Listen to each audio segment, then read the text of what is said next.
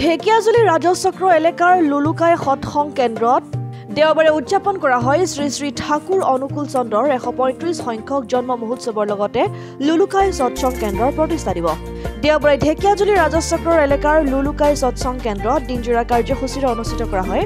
ঠাকুৰ শ্ৰী শ্ৰী অনুকূল কেন্দ্ৰৰ এশ পঁয়ত্ৰিছ সংখ্যক জন্ম মহোৎসৱত ৰাজ্যৰ বহু কেইখন জিলাৰ বিভিন্ন প্ৰান্তৰ পৰা আহিছে। শ্ৰী শ্ৰী ঠাকুৰ অনুকূল চন্দ্ৰৰ ভক্তসকল।